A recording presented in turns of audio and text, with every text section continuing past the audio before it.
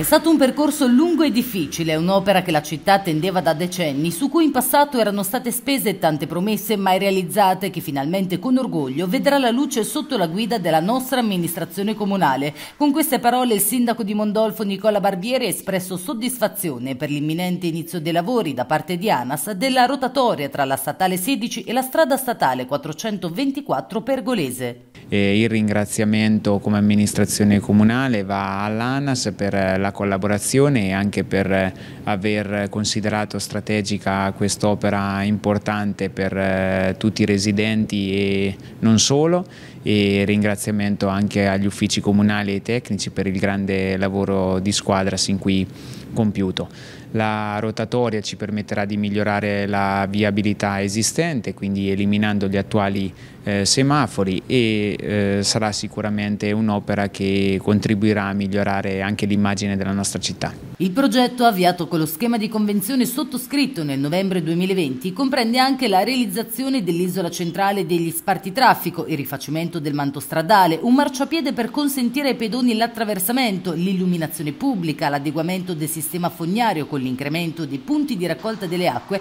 ed infine la nuova segnaletica e la realizzazione di parcheggi a servizio di attività e residenti. L'importo totale dei lavori finanziato da ANAS è di 475 eh, mila euro, la progettazione e, e il finanziamento dell'opera è eh, appunto a carico eh, di ANAS, eh, così come la realizzazione dei lavori, mentre il Comune si è occupato eh, del, della parte espropriativa, quindi di mettere a disposizione le aree di proprietà dei privati. Quando inizieranno i lavori e quanto dureranno più o meno?